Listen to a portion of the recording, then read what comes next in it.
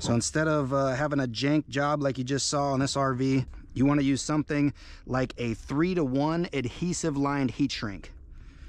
That makes sure that you get plenty of contraction around the lug and the heat uh, excuse me, the uh, the glue inside, the adhesive inside, will actually make a seal so you get no corrosion inside that lug terminal, which will reduce the ampacity that that wire can push through.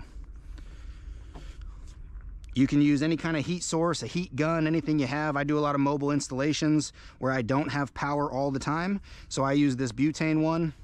All of the stuff I'm showing here, the heat shrink, the lugs, wire, the cutters and crimpers, all that stuff will be uh, linked in my description. So if you need help finding what you need, all of that stuff will be there for you. So this just pops out. We want to keep even heat rolling and just constantly moving. Keep it moving.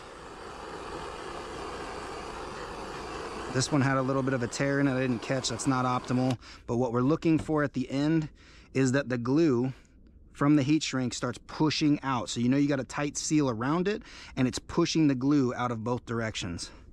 And do the same thing on the other side. Apply the heat and keep it moving.